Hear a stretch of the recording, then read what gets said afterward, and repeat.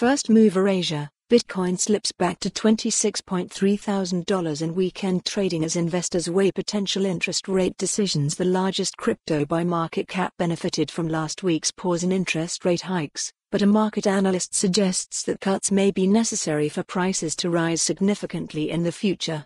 Also, Indonesia updates its list of digital assets approved for trading in the country. Good morning.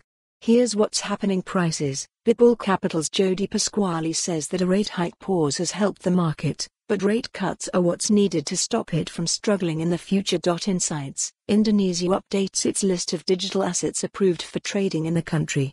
Is its motivation to increase tax revenues? Prices. Coin Desk Market Index, CMI. 1108. Minus 5.5 half a percent. Bitcoin, BTC. $26,366.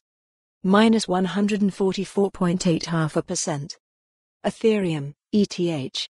$1,724. Minus 2.90.2%. S&P 500.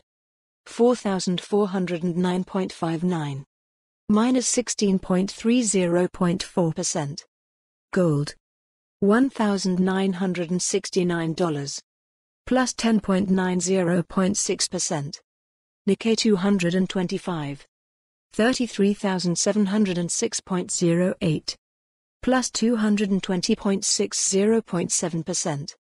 BTC slash ETH prices per Coindesk indices, as of 7 a.m. ET, 11 a.m. Follow the URL for the full article for more on this story, visit the news article link.